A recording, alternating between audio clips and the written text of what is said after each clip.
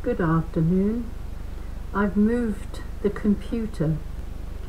I don't really like it, but I've moved it to give me more space for this big chair that I sit in at the moment.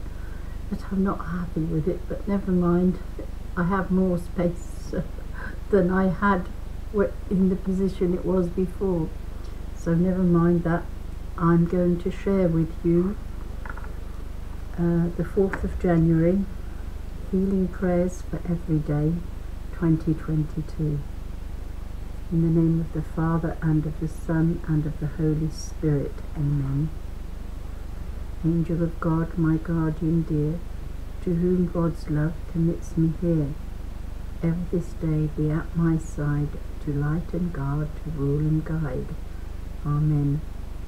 Lord Jesus Christ, Son of God, have mercy on me, a sinner. O my God, I am sorry for all my sins because they offend you who are so good, and with your help I will not sin again. I believe in God the Father Almighty, creator of heaven and earth. I believe in Jesus Christ, his only Son, our Lord, who was conceived by the power of the Holy Spirit and born of the Virgin Mary. He suffered under Pontius Pilate was crucified, died, and was buried. He descended to the dead. On the third day he rose again. He ascended into heaven and is seated at the right hand of the Father. He will come again to judge the living and the dead. I believe in the Holy Spirit, the Holy Catholic Church, communion of saints, the forgiveness of sins, the resurrection of the body, and life everlasting. Amen. The reading is taken from Matthew 10, verse 8. Cure the sick. You received without payment, give in the same way. The reflection Jesus came to give us the good news in two ways one was by preaching, and the other was by healing. Today, some people do not want to hear the gospel, but they are open to healing on one or many of the human human levels physically, emotionally, psychologically, relationally, or spiritually, which is the most important for eternity. The prayer Lord Jesus, you know where I need healing most. Lay your hands on me and let me experience your loving touch. Come, Lord Jesus, and let me receive all you have for me. Amen. Yes, healing is very important.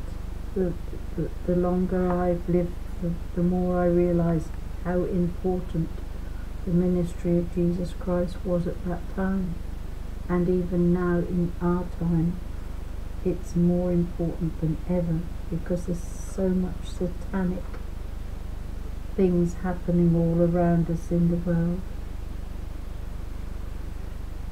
And in Jeremiah, God said, I will hear your prayers.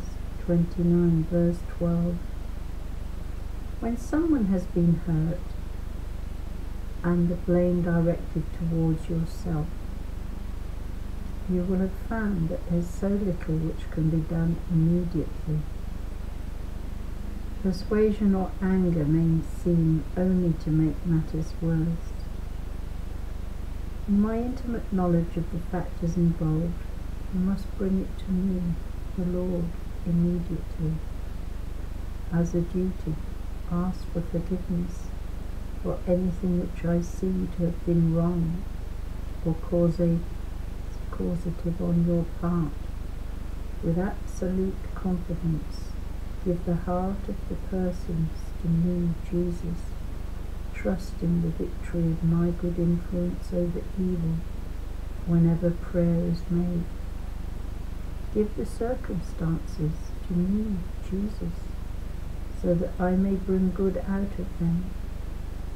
Thank me that I am doing so. Let me keep out disturbed feelings and the pressure to put things right in your way. Let me, Jesus, my love and approval, feed your spirit.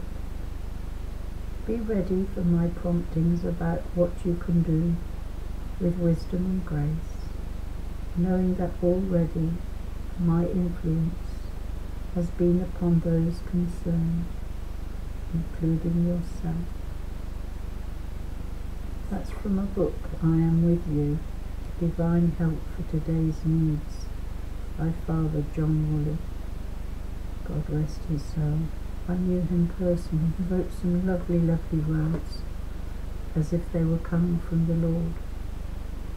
Thank you so much for listening. May God heal you.